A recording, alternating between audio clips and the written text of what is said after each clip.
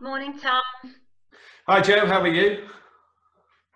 I'm good, thank you. How are you? And not too bad. Apart from the fact it's raining uh, after all the uh, heat we've had, um, yeah. Other than that, doing fine, thanks. Can't moan about that. Um, I wanted to talk to you, and hopefully, it's a subject that I think other people will find useless. Uh, useless, useful. I I've been noticing lately that um, a lot of my property owners, their portfolios are getting sizable, and sometimes from an insurance perspective, it can be really beneficial to put them all on one policy, and that can effectively save the client a lot of money and a lot of hassle one renewal date. But then I'm finding that the, the properties can be very, very different, and that means that insurers then won't look at them on a portfolio basis, and we end up with policies all over the place because one might be student let, one might be private let. But I'm finding that these portfolios are getting bigger and bigger, and I see them from all sorts of different perspectives that they're owned by a family group, they're joint owned, they're owned by a limited company. What are the implications of that, Tom, for the individual? In, in terms of tax planning, what, what are we looking at in terms of these property portfolios and how they buy them and the best way to do that? That's a, a, almost a how long is a piece of string? Uh, we could be here for several hours on this one. so uh, I'll, I'll, go through some of the major issues that people find um, because I, have been dealing with succession planning um, for buy-to-let landlords for a number of years now. And to be honest, you see the same pattern repeating again and again. People tend to love property because they love property, and then they get to a point where they go, actually, now I want to pass it on to the children, and we've got huge capital gains tax liabilities, I've got huge inheritance tax liabilities. Never mind the problem, as you mentioned, that they've got various different property types that give them yeah. issues on, on, on that front. Uh, a number of years ago, we went through a period where lots and lots of buy-to-let landlords were creating limited companies and then didn't know what to do with them. They just heard it was great from a tax point of view. And to be fair, it is, because if you think about it, if you own a property or you own a portfolio in your own name and you're getting a sizable income, and let's face it, you know, we could be talking three, four, five hundred thousand pounds income coming from the rents. Yes. That's one hell of a lot of personal income tax that gets hit. If it's in a company, then it's corporation tax, which is 19% compared to potentially 40 or 45% on an individual basis. That's the first part. The second part is really when you're looking longer down the line, because for inheritance tax purposes, residential property has no exemption. So it means if you've got a portfolio of two, three, four million pounds, you're going to end up being taxed, or your family are going to end up paying tax on that three, four, five million pounds, whatever the property portfolio is at the time.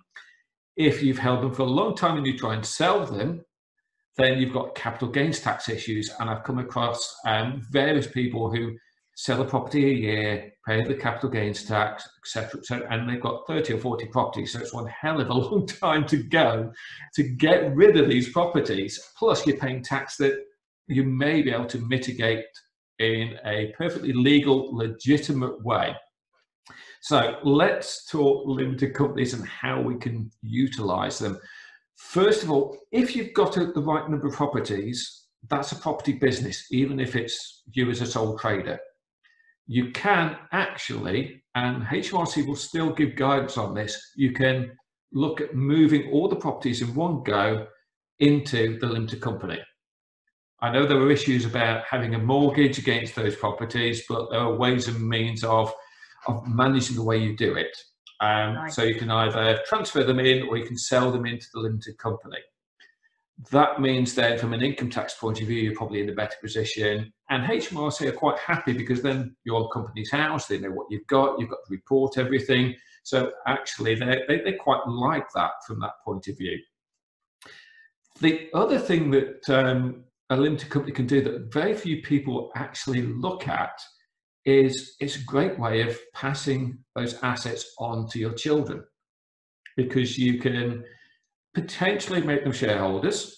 So you can give them a small sliver, one or two percent, which pays dividends, which particularly if they're going to university, great way of getting income to them in a tax efficient manner using their uh, dividend allowance or using their PAYE allowance. But the other thing you can do is you can actually pass those assets on to them using um, inheritance tax friendly approaches. So you can actually put their shares into trust. So mum and dad still have control. They can still make all the decisions. They effectively have a B share underneath that the kids are, are named in, but it's owned by the trust, not by the kids. The advantage of that really is, let's face it, we know our children are going to pick the wrong ones to, to marry, to live with, to be with. And also, when you get an inheritance, that tends to be the point when your partner goes, I don't actually like you that much, but now I can afford to leave you. Yay, and I'm off. um, apologies. This is, I'm, I'm, I'm, getting cynical as I get older, as you can tell by the grey hair. Um, but that's a great way then of protecting those assets for the kids, passing them on, and you can also do it in a way where, as long as it's done properly, you let HMRC know what's going on, but you can actually use those shares to minimise your estate and reduce potential inheritance tax when you pass away. But the key thing is do it sooner rather than later. So if you're in your 30s and 40s and you're thinking of creating a property portfolio, think about it with the end in mind. Yeah.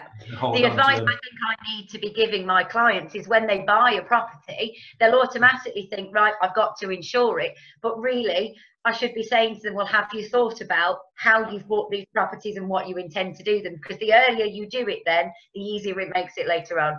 Absolutely. It's like everything plan plan for the end in mind and everything then falls into place and people do worry about the loan rates and getting mortgages through limited companies um, i have to point out don't do mortgages myself. I personally find them very very boring. Don't want to get involved. But we have people who do them. You might pay an extra half to one percent apparently at the moment. But A, it's easier because the company can own 10 properties and the mortgage lenders will look at 10 properties rather than going, you want to buy a new property, just one property on its own. So you may pay a little bit more in interest, but don't forget in a limited company, that can offset your corporation tax bill at the end of the year. And also actually the tax savings you can potentially make through your income tax, dividend payments, all that kind of thing is 1% a real deal breaker, particularly when it's a great way of building a family business that can be passed on through the generations as long as you trust your kids to do a decent job.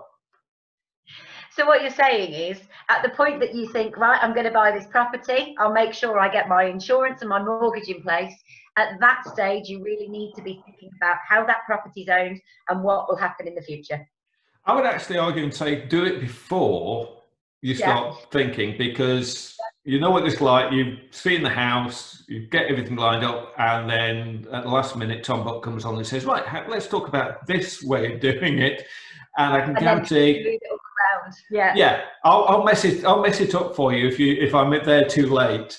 Um, whereas for one client at the moment, we've actually set up a corporate structure, got the money in, he's got getting the mortgage lending sorting out, and he's doing it all through a limited company because he sees it as a long-term business. He's 32, 33, I think, off the top of my head. He's looking at this as a 40 or 50 year investment and business, something he can grow. So actually, we set everything up beforehand, then got the mortgage broker involved, then got the property, then we'll get yeah. the insurance, and to be honest, it will just flow beautifully for him. So, how wonderful it is that you can buy those properties it's absolutely key that before you do, you consider what your outcome, what your end goal of them is.